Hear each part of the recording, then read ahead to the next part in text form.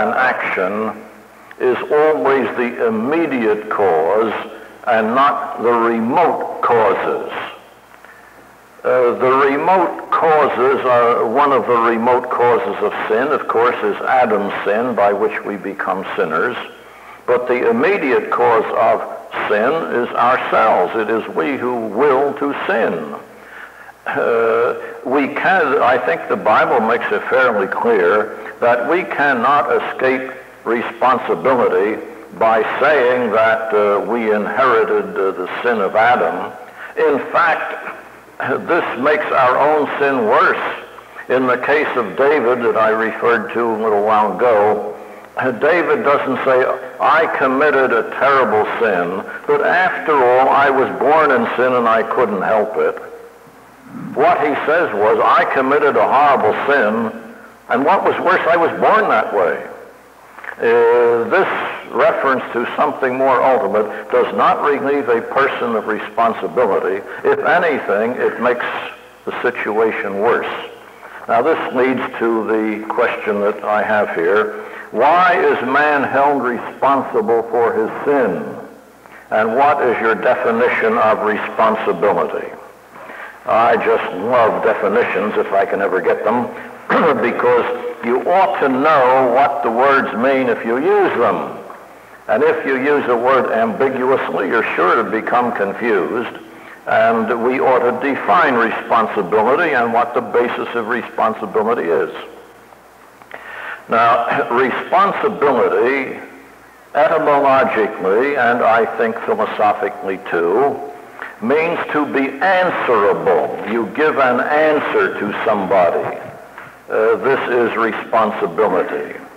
And we are answerable to God because God demands an answer from us.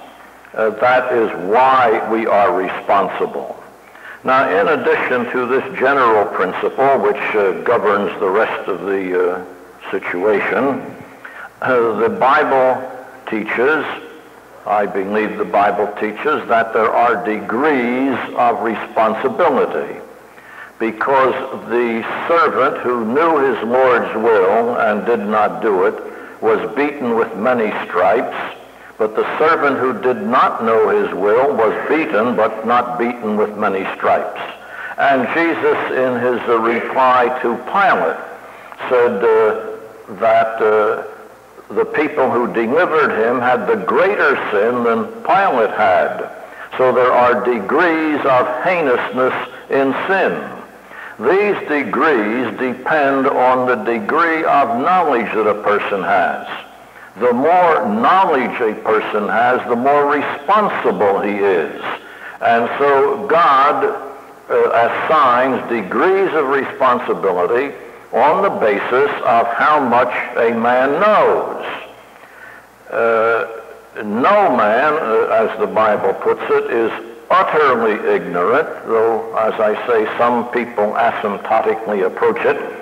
Uh, but no man is absolutely ignorant, and therefore all men are at least minimally responsible.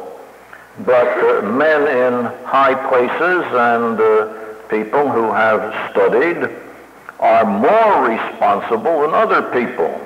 It is a great responsibility to be a minister, for example. A minister presumably knows more about the Bible than most other people, and the more you know, the more responsible you are. Now, a responsibility then is, uh, uh, to define it, is to be answerable to a superior power.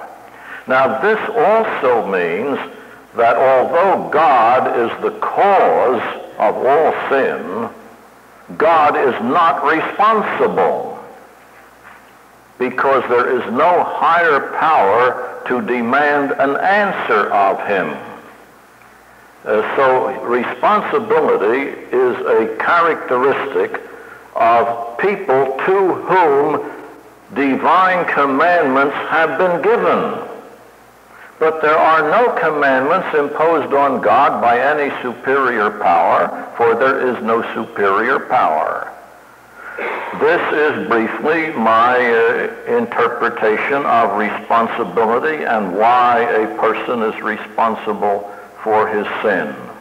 God decided to uh, hold a man in certain degrees responsible, uh, degrees corresponding to the degrees of his knowledge.